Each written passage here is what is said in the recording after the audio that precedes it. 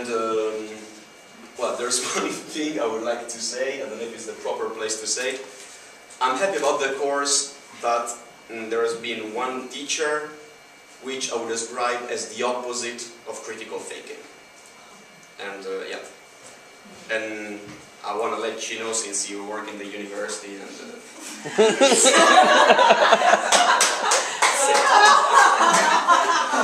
we have to agree, so somebody has to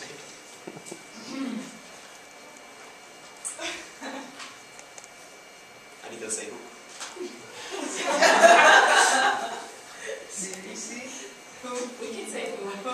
We all know who it is.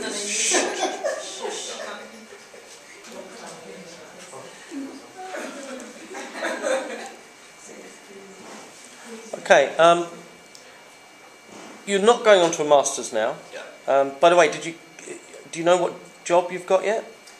No, I'm with two companies. I'm discussing salary. Still waiting. Yeah, Okay. negotiating. It takes Right. time. And so in that case, imagine you get a job like the one we talked about in Vietnam. Which parts of these skills do you think will be the most applicable in the working world? Well, in Vietnam, I think critical thinking is going to be really important because everybody knows how politics are there and so how the medias are shaped. And thus, working in the tourism industry or any other industry, you will have to make some researches on the market. But you need to be aware that what you're reading may not be 100% a mirror of reality. And well, presentation skills as well, because if you have to communicate to clients, if it's okay, private client is going to be on the phone.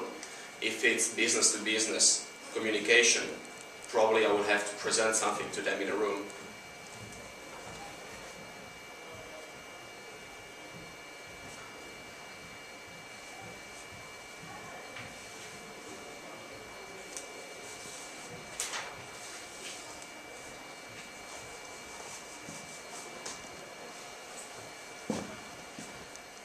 Uh, sorry, I don't have any questions.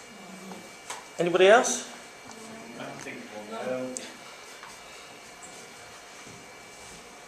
Do you think you mentioned the internationality of, of, of studying for the first time people from such a diverse backgrounds? You got people from uh, a couple of you from Europe, you also India, Africa, and various planets.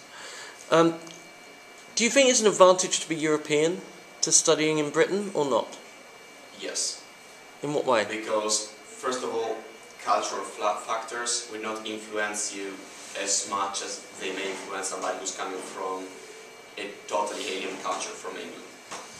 Um, secondly, I think that European university systems are different from each other, but thanks even to the Erasmus and like the guidelines given by the European Union, they're getting closer and closer. And then, of course, I had the chance to do a university where, I mean, it was focused on languages, which means most of my teachers were natives. And so it was like a mix between the Italian system, but ex- but the lessons were given by people who were used to the British British system. So it was, yeah, I think that people coming from outside of Europe, it's much more difficult. Mm-hmm. Okay. Mm-hmm. Anything, Andy?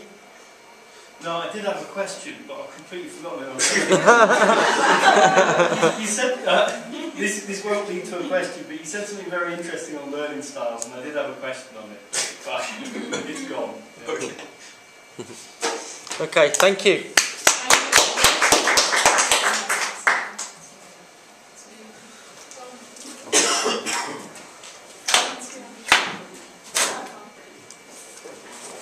No, also, but the advantages this morning is that it's yeah.